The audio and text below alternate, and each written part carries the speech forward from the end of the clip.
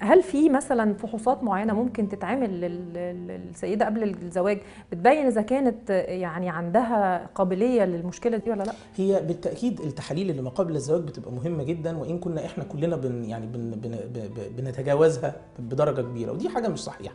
ولكن على الأقل ك يعني كفي شغلنا أمراض النساء تحليل السائل المنوي للزوج بيبقى ليه أهمية جامدة جدا هو وتحليل الهرمونات بالنسبة للسيدة. النهارده ما نقدرش نقول بتحليل السائل المنوي لوحده إن الزوج هيبقى أكثر عرضة لموضوع الإجهاض أو الإجهاض المتكرر. ولكن هيقدر يشخص بمنتهى البساطة لو كان بالفعل عنده مشكلة. يعني في أربع حاجات أساسية أو أربع محاور أساسية في تحليل السائل المنوي هيقدر يتعرف عليهم زي عدد الحيوانات المنوية الحركة بتاعتهم الأجسام المشوهة اللزوجة.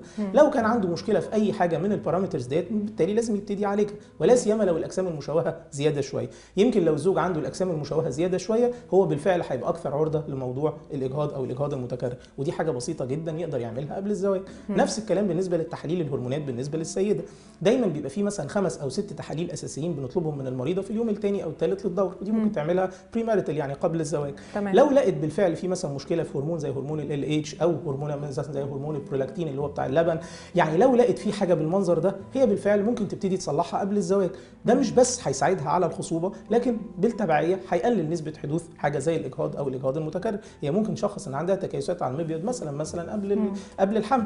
ودايما مرضى التكيسات بيبقوا أكثر عرضة مثلا يعني للإجهاض وللإجهاض المتكرر. تمام. يعني حضرتك بتنصح ال- ال- المقبلين على الزواج إن هم يعملوا بعض الفحوصات الطبية اللي بتبين مدى قدرتهم على ال- الإنجاب علشان لو في أي مشكلة تتلحق بدري. تمام كده؟ أكيد. طيب.